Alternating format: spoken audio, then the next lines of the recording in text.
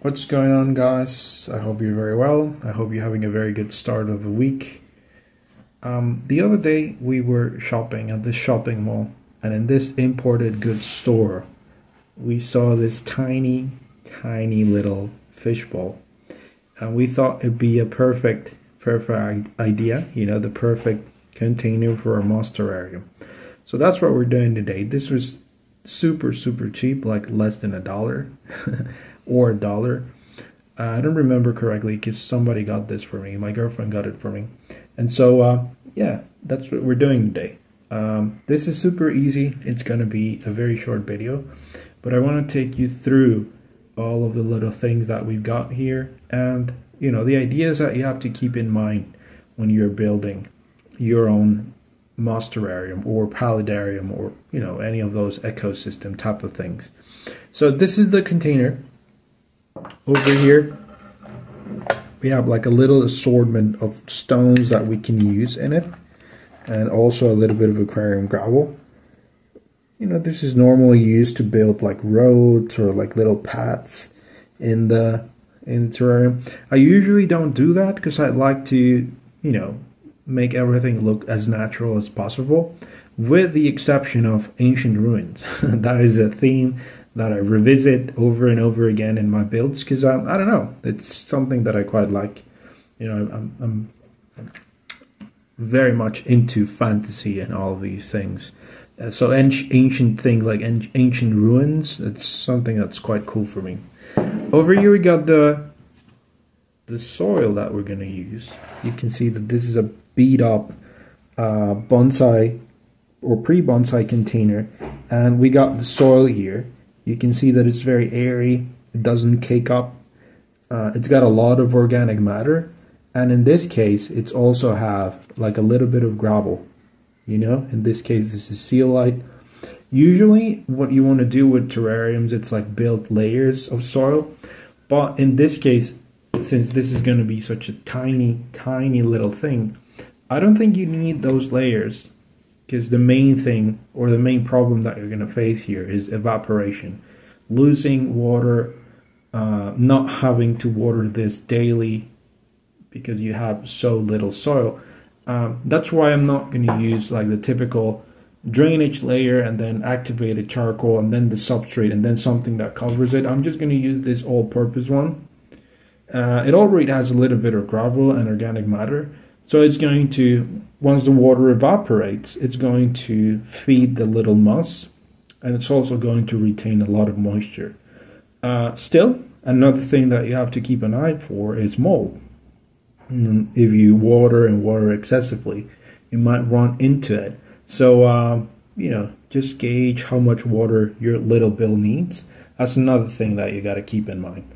And finally, over here, if you've seen my uh, bonsai videos, you might have uh, spotted this little containers where you get like uh, like takeout or whatever. And this is a perfect container to build and propagate moss. You can see that it's nice, green and luscious.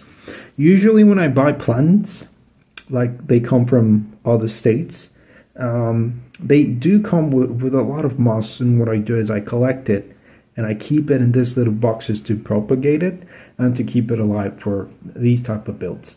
So you can see over here like different species of moss. For example, this one, this one is another one that I've used. I saw another one over here. Let me just see if I can focus. Uh, oh, this one over here sort of look like like a Java moss, if you know what that is, if you're into aquariums. And this little hitchhiker puns that come with it. This also came with a, a little fern that's growing over here.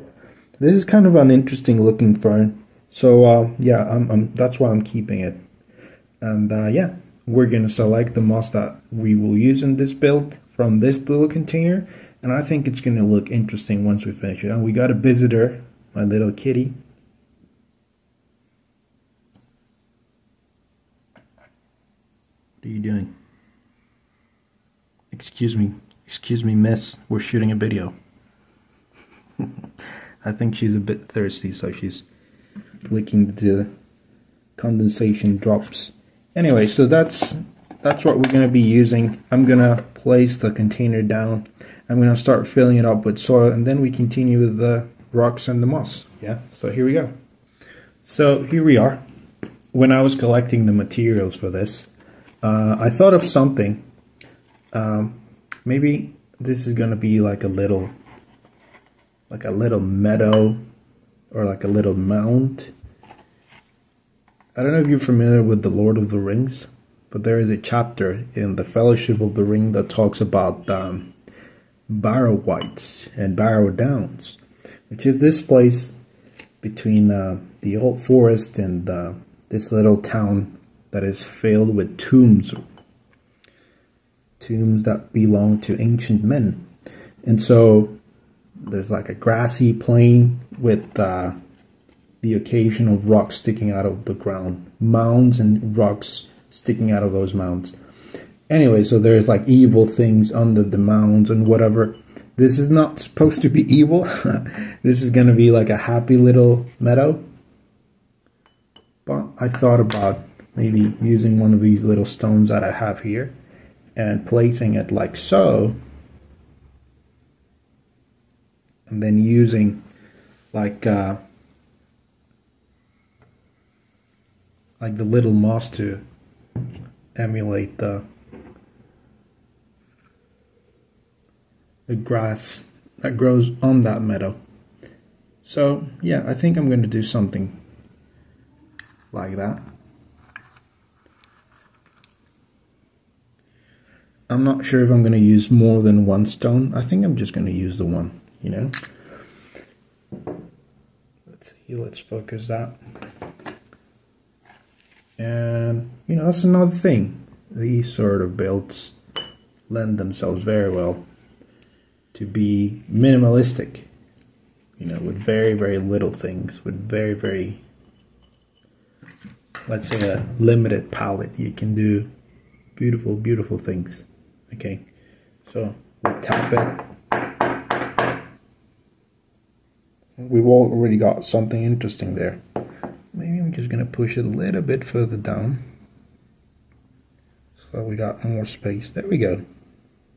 I'm to remove this little stone that we have here just so that we have more room for the little moss to grow. Yeah. And we continue with the moss. Okay, so this is the first little patch of moss that I'm going to use. And you can see that this is sort of like a carpeting type of moss. So I'm just going to, you know, use it like that, you know. So I'm just going to come in and just drop them where I want them really, you know, because what what's going to happen is that once I spray this with water,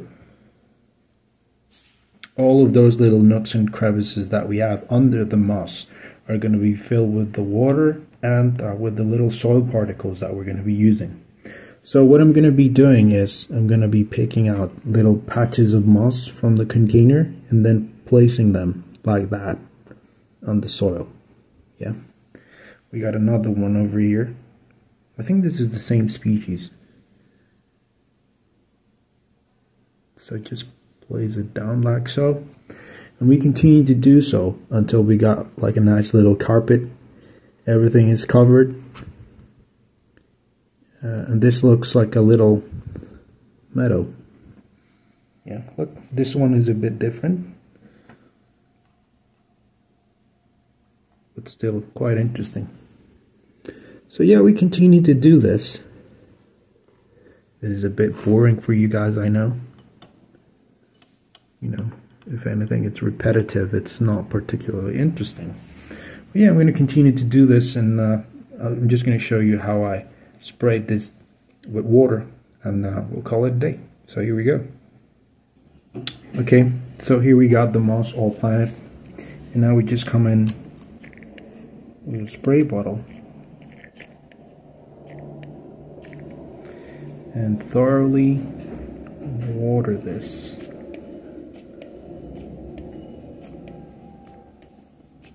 The moss's planet is making contact with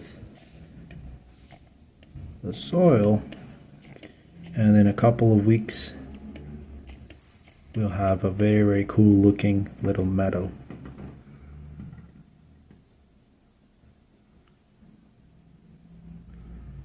Yeah.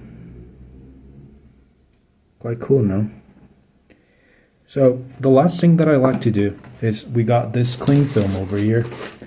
And uh, if you got like a glass cover for this, like a glass lid, so that it's clear, the light can get through, and it can be covered so that the moisture doesn't escape.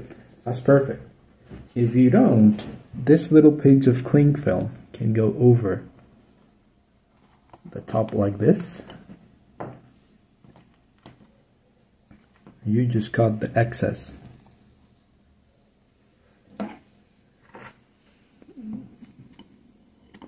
With scissors. And it's gonna look cool. Moisture's not gonna escape. And uh, you know, almost everyone has got cling film in their home, so this might be something that you already have at home. So, uh, yeah, let's just continue to remove the excess over here. And we can call this a day. Yeah. And, yeah, and here we have it. The cling film is in position. And from this angle, you can see all of the little details. You can see that the moss is looking nice and healthy and that we've also planted a couple little patches of moss. This variety, it's like a very, very fine, like hair grass almost. That's gonna look awesome in a couple of weeks.